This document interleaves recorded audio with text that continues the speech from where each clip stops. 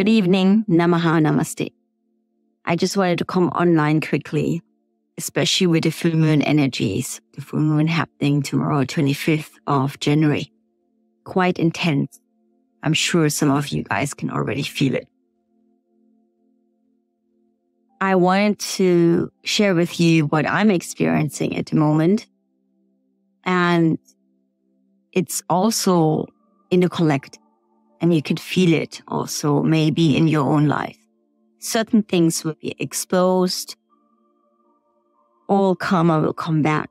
Now, from my point of view, this is something that we all have to go through. I'll give you an example. Instagram tried to ban two of my posts from last weekend, twice. I appealed to it and I will continue appealing to it. The post showed my training sessions, Shaolin Kung Fu.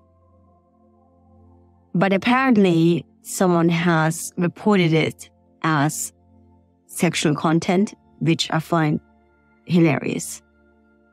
Harassing? Wow. Bullying? Really? Hate speech.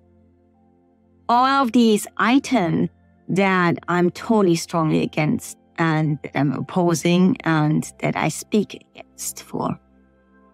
So how did this happen? Number one, I'm going to apologize to anyone that I may have totally stepped on the toes in the past.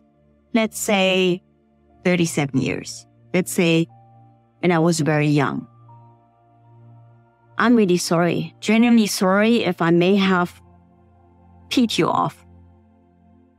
And you, I did not know at that time that version of me did not know better at that time and space. So please forgive me. For those of you who think that can undermine me, can try to bully me, harass me, put me off guard, that's not going to happen. For that, you have the new version of today, of this time and space.